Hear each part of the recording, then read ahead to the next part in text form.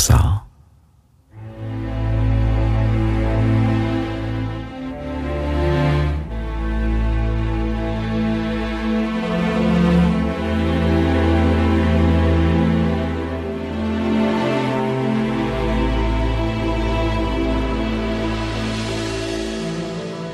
Amsal-amsal Salomo bin Daud, Raja Israel.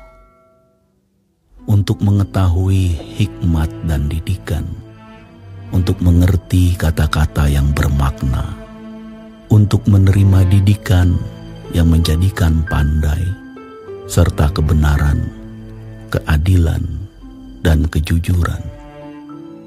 Untuk memberikan kecerdasan kepada orang yang tak berpengalaman dan pengetahuan serta kebijaksanaan kepada orang muda.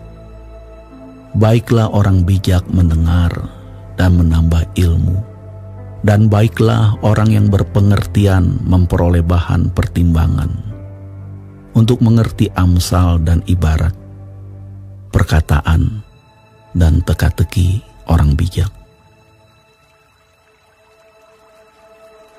Takut akan Tuhan adalah permulaan pengetahuan. Tetapi orang bodoh menghina hikmat didikan.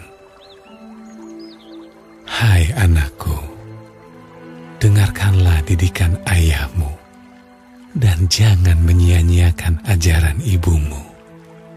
Sebab karangan bunga yang indah itu bagi kepalamu dan suatu kalung bagi lehermu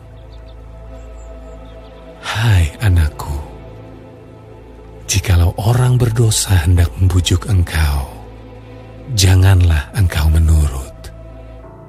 Jikalau mereka berkata, marilah ikut kami, biarlah kita menghadang darah, biarlah kita mengintai orang yang tidak bersalah dengan tidak semena-mena.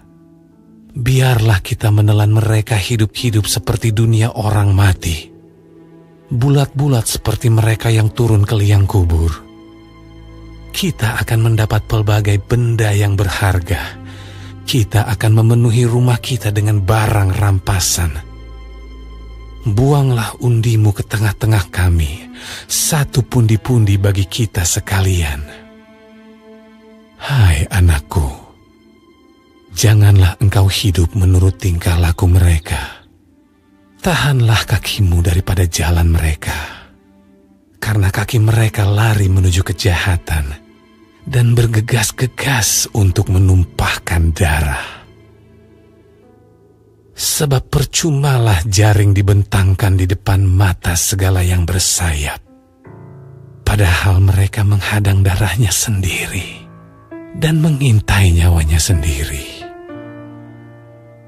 Di lapangan-lapangan ia memperdengarkan suaranya. Di atas tembok-tembok ia berseru-seru. Di depan pintu-pintu gerbang kota ia mengucapkan kata-katanya. Berapa lama lagi, hai orang yang tak berpengalaman, kamu masih cinta kepada keadaanmu itu? Pencemooh masih gemar kepada cemooh dan orang bebal benci kepada pengetahuan, berpalinglah kamu kepada teguranku.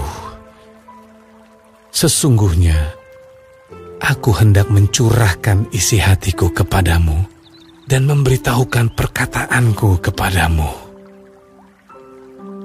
Oleh karena kamu menolak ketika aku memanggil, dan tidak ada orang yang menghiraukan ketika aku mengulurkan tanganku bahkan kamu mengabaikan nasihatku dan tidak mau menerima teguranku, maka aku juga akan menertawakan celakamu.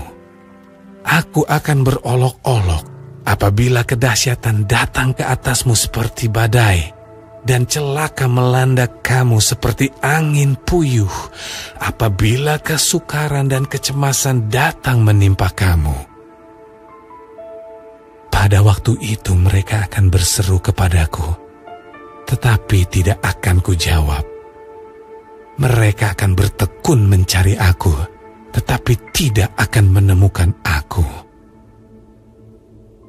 oleh karena mereka benci kepada pengetahuan dan tidak memilih takut akan Tuhan, tidak mau menerima nasihatku, tetapi menolak segala teguranku, maka mereka akan memakan buah perbuatan mereka dan menjadi kenyang oleh rencana mereka.